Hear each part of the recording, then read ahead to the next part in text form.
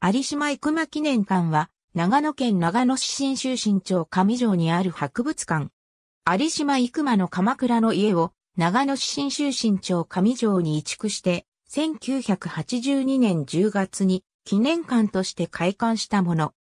1890年にイタリア人貿易商、ビバンティが鎌倉の稲村ヶ崎に建てた後、廃屋同然になっていたコロニアルスタイルの邸宅を、ニトベ稲造の別荘を西洋で訪れていたイクマが気に入り、1921年に購入、手を入れて、妻子と共に暮らした。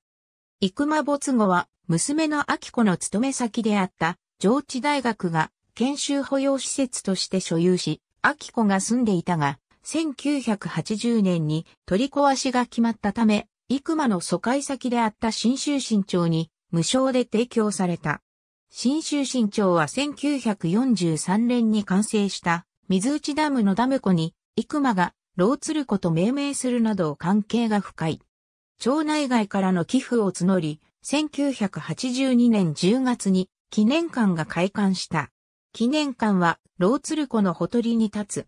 地元出身の考古学者、西沢勇によって地域で発掘された化石を収蔵、展示し地域の自然を紹介する。各種ワークショップも行う。博物館前の実物大ディプロドクス像が圧巻。新町博士ロボがホタテ貝と共に発掘の説明をする。ありがとうございます。